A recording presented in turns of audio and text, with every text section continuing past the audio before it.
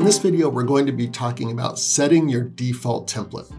Now, a default template is basically how you want your charts to look every time you pull them up, is what a default template is. So we're going to show you how to customize your chart, make it look the way that you want it to look, save that, and make sure it shows up that way for every chart that you open moving forward. So let's go ahead and show you that. Now I just have a chart here that I've added a chart theme to. Down here I've added the Metastock Dark theme. So that's the theme I want to use. I'm going to add a few indicators to it. I would like to add the moving average. Actually a couple moving averages. So I'm just going to add a 25 period. That's fine, we'll add that. And then I'll grab it again and drag it on again. And I will do a 50 period. And I'd like this one to be blue.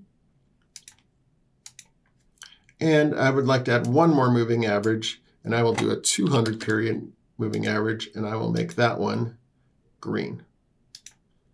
Okay, so I have my three moving averages. This is how I'd like my chart to show up every time I open up a chart is with these moving averages. It's very simple to do as a first step.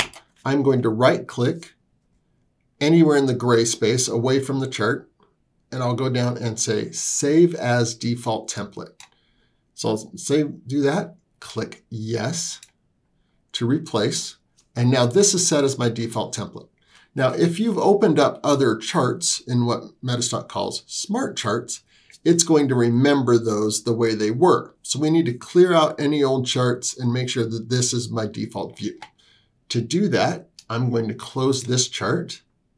I'm going to go up to File in Metastock and delete Smart Charts. I delete my smart charts, it'll give me a warning here. Anything you've done is going to be cleared out as far as putting line studies, anything on a chart. So I'm going to go ahead and proceed, say yes, all my smart charts have been deleted. So now when I come up here and let's just open up a different chart. I can't remember what we were looking at before, but I'll put in apple.o and it should pull up exactly the way I set it up with my default template. So this is a very easy way to set up your default, make it what you want to be. It's a great simple shortcut to setting everything up. And now I can just look at the charts the way I want them to be. I hope you found this uh, to be instructional and informative, and thanks for stopping by.